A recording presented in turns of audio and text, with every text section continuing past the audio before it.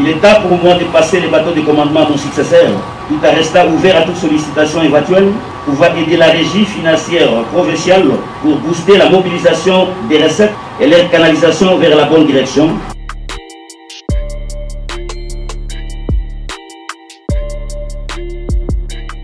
doivent être cohérents par rapport à cette politique, spécifiquement dans la dynamique de maximisation des recettes provinciales, en vue de répondre aux différentes préoccupations, défis la société relative au développement durable.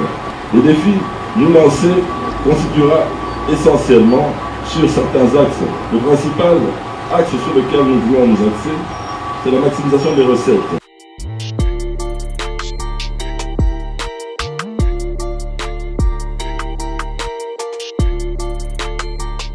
Lorsque vous êtes en train de prester en Ituri, pensez d'abord Ituri.